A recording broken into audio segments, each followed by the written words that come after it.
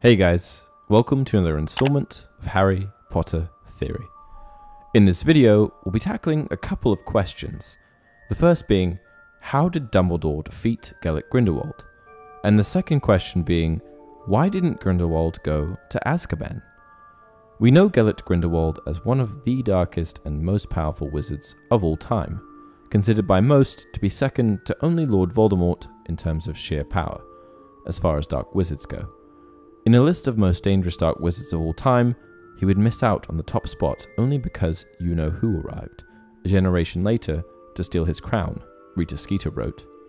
Grindelwald was born in the year 1883, and in his younger years, he was a student at Durmstrang Institute. While attending the school, Grindelwald's sadistic nature shone through, and he was expelled for experimenting with twisted and dark magic. When he left school, Grindelwald met a young Albus Dumbledore, and the two spent every minute together. I think that the magical power of each young man can be partly attributed to the time that they spent with each other. Though Dumbledore and Grindelwald were close, there was definitely a crossroads where the two began to go down very different paths. It was Grindelwald's intention to find the Deathly Hallows, then lead a wizarding revolution that would effectively put an end to the International Statute of Secrecy, breaking down the secretive divide between the two worlds. This revolution would create a global power hierarchy that would place powerful witches and wizards at the top of the food chain, effectively giving them full control of muggles and muggle affairs. Dumbledore and Grindelwald eventually parted ways after a three-way duel that included Dumbledore's brother, Aberforth. The duel resulted in the death of Albus's sister, Ariana, and it effectively put an end to their relationship. After parting ways with Dumbledore, Grindelwald stole the Elder Wand from Mykew Gregorovitch, who held the wand at that time. Gregorovitch, the proprietor of a wand shop, started spreading rumors about his possession of the wand, hoping that it would improve business. This was a foolish and fatal error, as Grindelwald stole the wand from his workshop in the middle of the night. After stealing the wand, Grindelwald began to amass his following, a legion of fanatics that would help him to facilitate all sorts of attacks across Europe. Grindelwald is responsible for committing some of the most heinous crimes that you could think of, including mass slaughtering of wizards and even attacks on muggles. At the height of his power, he was seemingly unstoppable. With an army of fanatics and the possession of the Elder Wand, there was only one person who could stop him Dumbledore. Dumbledore was the yin to Grindelwald's yang, and the two had a rich history, each of them able to attribute much of their magical capabilities to the time that they spent together in their formative years. When Dumbledore graduated from Hogwarts, he returned to Godric's Hollow to be with his family after the death of his mother, Kendra Dumbledore. Albus, being the eldest sibling, knew that he would have to take care of his younger siblings, particularly Ariana, who had problems controlling her magical abilities. It was during this time that Albus became friends with Gellert Grindelwald, a young man who had moved to his small village to live with his aunt Bathilda Bagshot, who was a family friend of the Dumbledores and Grindelwald's great aunt. The two immediately recognized that they were different and had magical capabilities far surpassing the average witch or wizard. Because of this, the two boys hit it off immediately. Though it is not directly stated, I am sure that the friendship between Dumbledore and Grindelwald undoubtedly resulted in increasingly powerful magical abilities for both boys, as they were able to challenge each other's abilities on a consistent basis. Before befriending Grindelwald, Albus always outshone every other witch and wizard that he interacted with, regardless of how powerful they were. Grindelwald's great aunt, Bathilda Bagshot, was a gifted magical historian and the author of A History of Magic, which was used to teach students at Hogwarts. From this, we can assume that powerful magic was clearly in Grindelwald's bloodline, and, as a result, he became a very powerful wizard at a young age, just like Dumbledore.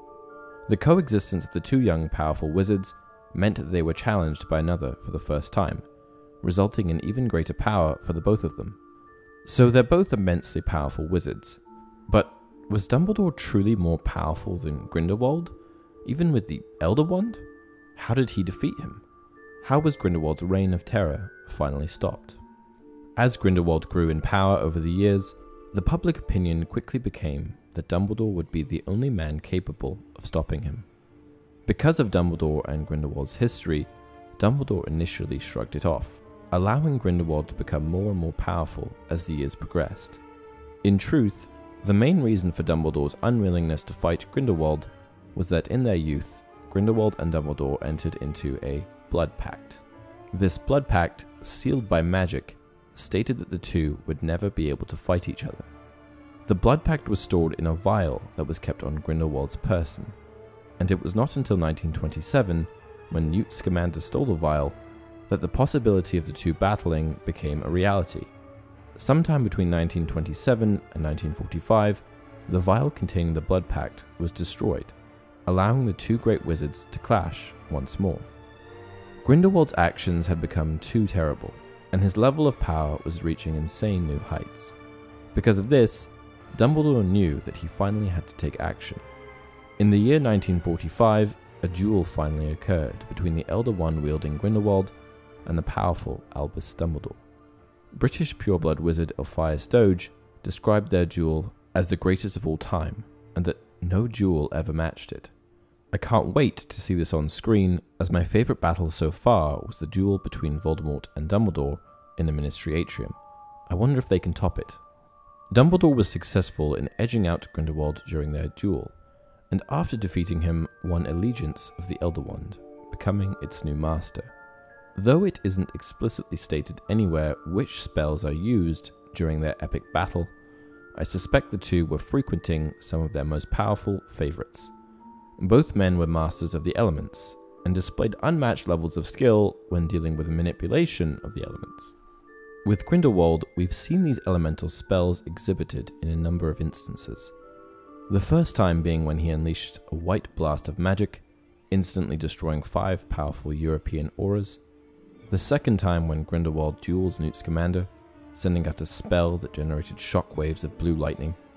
And thirdly, the famed Protego Diabolica, powerful protective ring of fire that incinerates anyone who comes close to you. With this spell, he was able to effortlessly fend off over 30 Aurors. And these are just three examples of the spells that he has. He probably has so many options to choose from, but I bet he used at least one of these three in his duel against Dumbledore.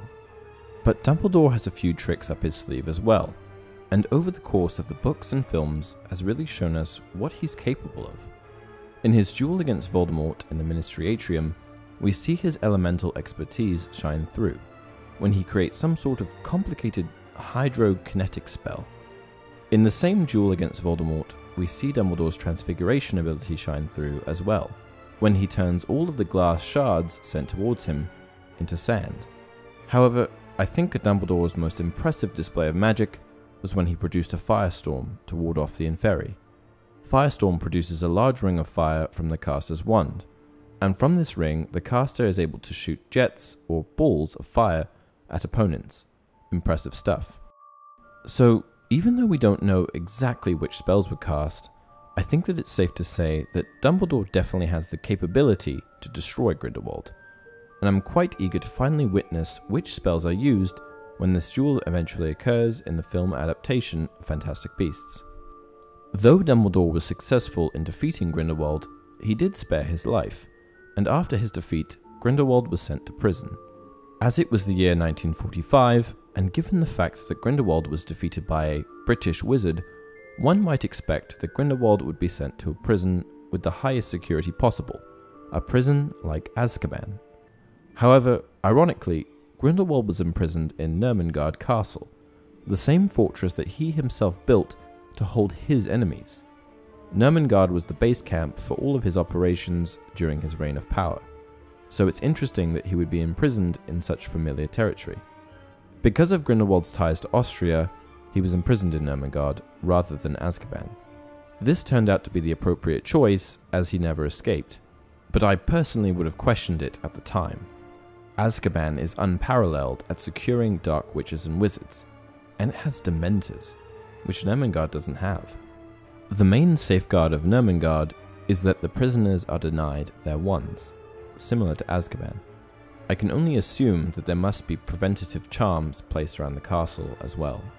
Grindelwald was imprisoned in the topmost prison cell in the highest tower of Nurmengard, and it was there that he spent 53 years of his life, before eventually being murdered by Voldemort. And that's it for this video. What do you guys think? What spell did Dumbledore use to finally apprehend Grindelwald? Let me know down in the comments section below. As always, please hit the subscribe button if you enjoy the content. Until next time, You're a wizard, Harry.